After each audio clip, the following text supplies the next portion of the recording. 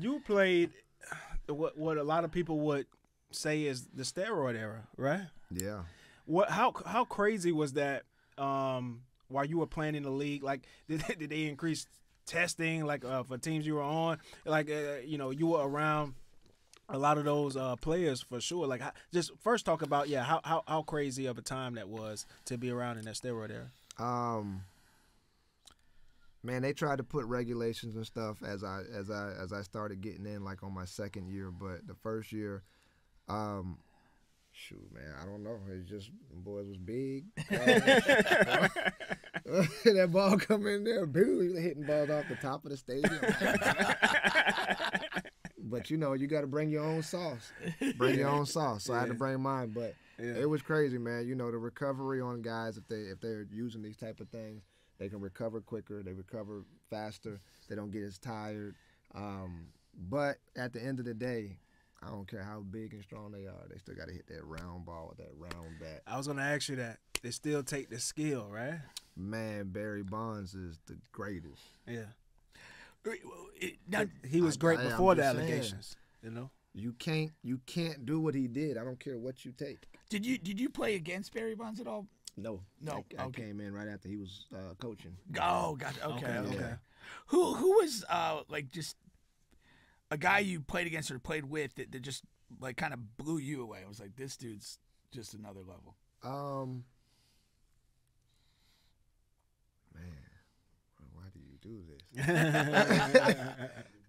uh, that just blew me away. Yeah. Yeah, just was like, man. I'll I- s- I'll say power. I'll break it down because like players, different is- Yeah, categories. it's different yeah, no, categories. yeah, it's it's I'll your say open power floor. wise. I don't know if you had to be a baseball guy. Yoenis Cespedes when he first came. From I've heard Cuba. the name.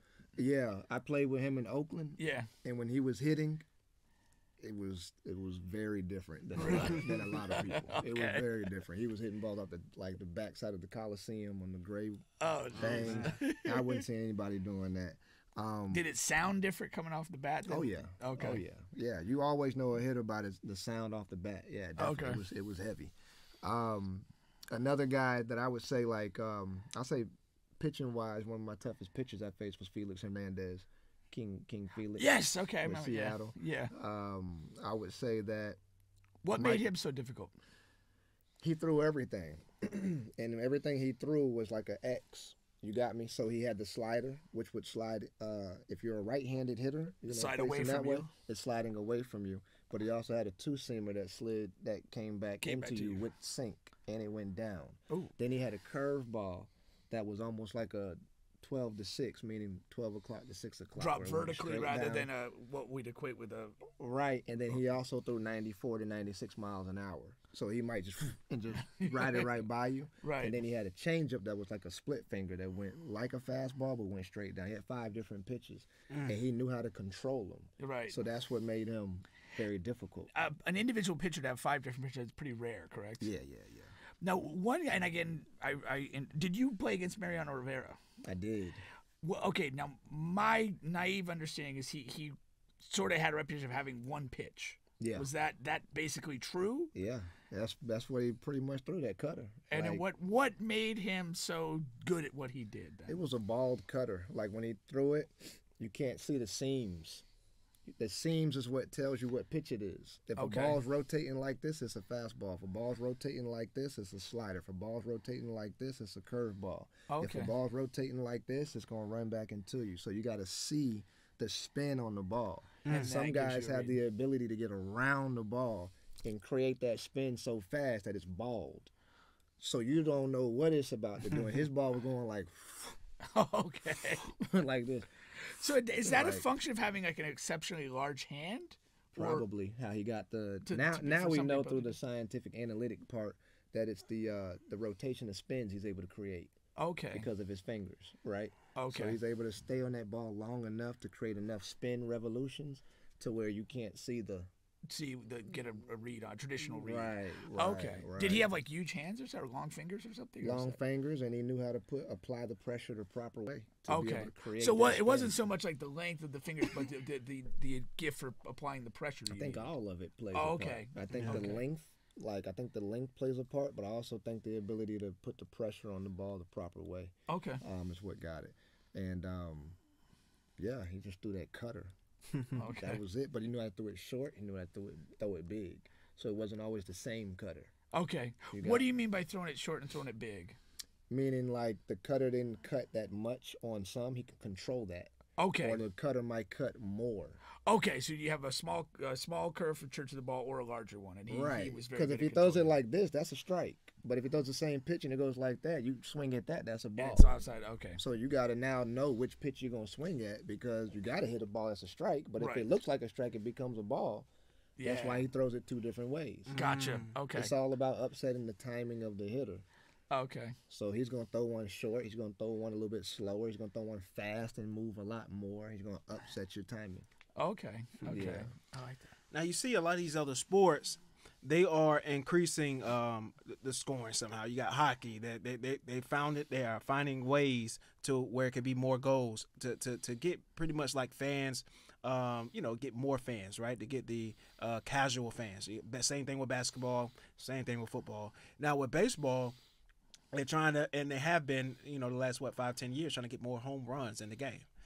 Is uh, do you think that's good or bad for the game? To to you know, they're trying to increase the casual fans, trying to increase the younger uh, fan base, things like that. That's that's that's the reason for it. But is it good for the game?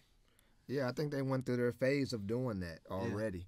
I think that um, you know what Aaron Judge just did, hitting you know over 61 home runs. Mhm. You know, I think that they have completed the process of teaching guys that you know we want to hit more home runs for the fan recognition. I think now you're going to see the game start turning back towards Mm. Playing the ball game, being able to go gap to gap, still leave the ballpark, but being able to go gap to gap. And now that guy that's that um, that utility man or that um, that smaller guy that that plays the game on a high level every day, I think he's gonna start being the focal point again, slowly but And have more value. Okay. Yeah, because these because the averages are way down because the power is way up. Right. So guys aren't hitting no more. They're just they're hit or miss Right. you know and so that's also taking a toll on the game because the action level isn't as high as they would like it to be Mm-hmm. so now they're going to even it out i think and, and it's going to be a fun game within the next year or two Okay. Yeah. Because the only thing fun about that watching is is if somebody's on a no hitter type of run, you know. Mm-hmm. Without that, it's just a lot of misses. you know what I mean? And with a, with an occasional hit. But if somebody's if somebody's in the midst of pitching a no hitter, that that could be entertaining. that's for sure. entertaining Oh, for sure. For sure. you just gotta you know if you're not in tune with the game then like the things that are beautiful about it you won't catch it Right. you won't understand I'm the saying. beauty of fielding a ground ball Yeah. you won't understand how many times these guys fielded correctly and if you went out there and tried it you'd be like how do they do this every Single time. day no days off how do they how do you catch that ball every time Mm. guys go whole season 162 games with like five errors six Yeah. mistakes like when you understand the professionalism that's pulled out of the individual That that that reminds me of a great quote I just saw again recently. Uh, the amateur does something until they get it right. The professional does it till they can't get it wrong.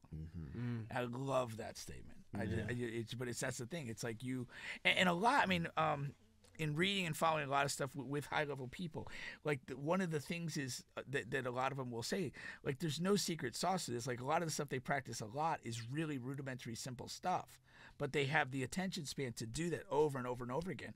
So literally, they're not messing up what would be, uh, you know, what, what can be at the professional level a simple play. And then you know, and then you, then you have a, you know, you still have a chance to make some amazing plays, but the consistency of whatever fielding the ground ball or trapping a soccer ball or catching a football, like you just don't mess that up like mm-hmm. at that Yeah. level, you know? yeah it's like that football guy on the deep pass and it goes through his hands it's like Yeah, bro you want to go to the nfl I always Catch say, the man. ball. I always say, man, you want to buy your mama a house or not, man? What you wanna what, do? what you want to do? Yeah, I'm like, you got to catch that ball. That's it. Figure that part out. that's right. Yeah. That's right. So, Nah, that's cool. That's cool. All right, once again, you guys are on the bench, on the bench podcast with Bubba and Pink, home of sports, music, and mayhem.